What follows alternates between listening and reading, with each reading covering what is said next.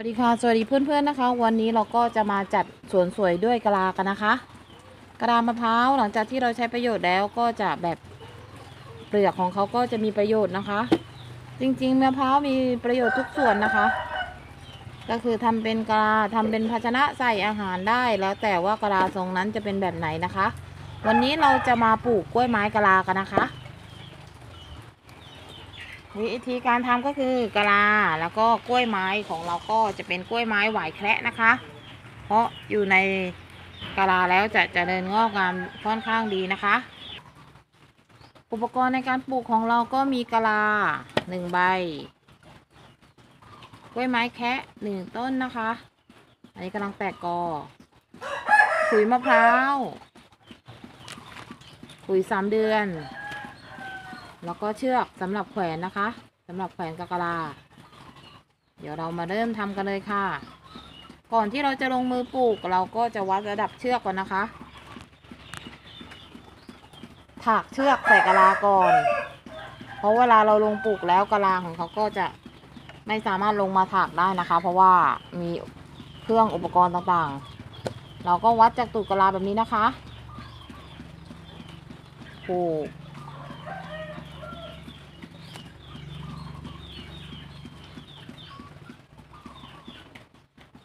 ผูกกลมผูกสามเหลี่ยมแบบนี้นะคะ ผูกให้ทั่วสามปม เพื่อนๆหลายคนก็ถักเป็นแล้วนะคะ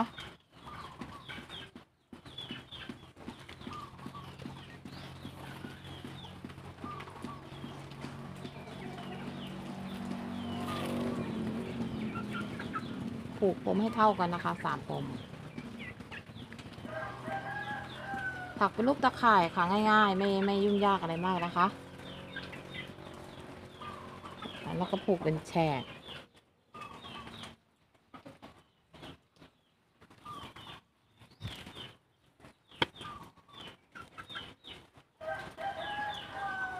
การผูกแบบนี้ก็คือจะทรงตัวกะลาได้ค่อนข้างดีนะคะ แล้วก็ที่สำคัญไม่เอ็นเอียงไปไหนไม่ร่วงหล่นนะคะ อาจจะเสียเวลาในการถักนิดนึงแต่ว่า อายุการใช้งานนี้ค่อนข้างทนมาก ต่อให้เชือกอีกเส้นขาดก็อีกเส้นก็ยังอยู่นะคะ ไม่เหมือนกันที่แขวนเราใช้แขวนง่ายๆ ก็จะจะจะทำให้ไม่ไม่ค่อยทน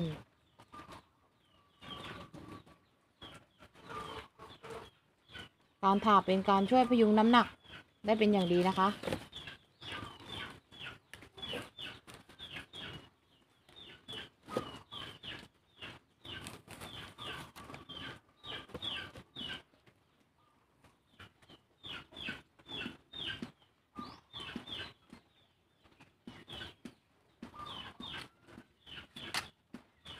เรียบร้อยค่ะ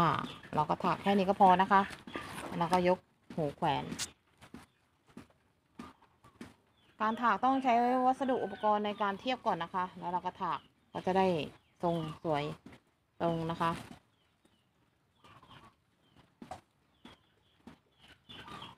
นี่ก็ได้ที่แขวนเรียบร้อยแล้ว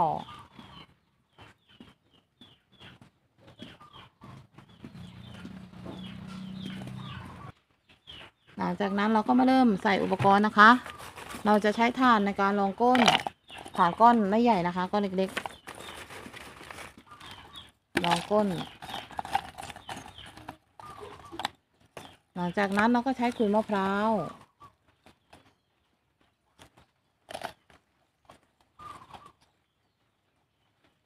รองลงไปอีกชั้นหนึ่ง เสร็จแล้วเราก็ปลูกนะคะ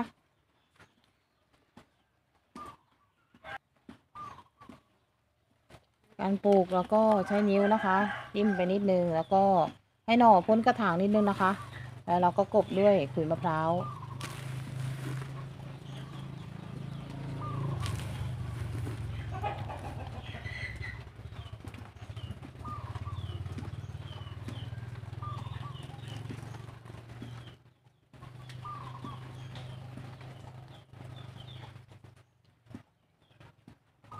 หลังจากนั้นลืมไม่ได้ก็คือปุ๋ยของเรานะคะ ปุ๋ยสามเดือน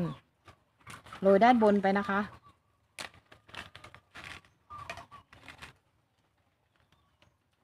เพื่อให้สารอาหารต่างๆ ครบถ้วน แล้วก็ที่สำคัญก็คือทำให้กล้วยไม้เราแข็งแรงด้วยนะคะ เรียบร้อยค่ะ ก็กล้วยไม้ในกะลาของเราก็สวยงามมากนะคะ เสร็จแล้วเราก็ไปแขวนรดน้ำให้เรียบร้อย จากนั้นเราก็ไปแขวนนะคะรดน้ำให้ชุ่มแขวนไว้ในร่มประมาณสามวัน แล้วเราก็เอาไปแขวนใต้ต้นไม้ลำไรที่เราอยากจะแขวนนะคะ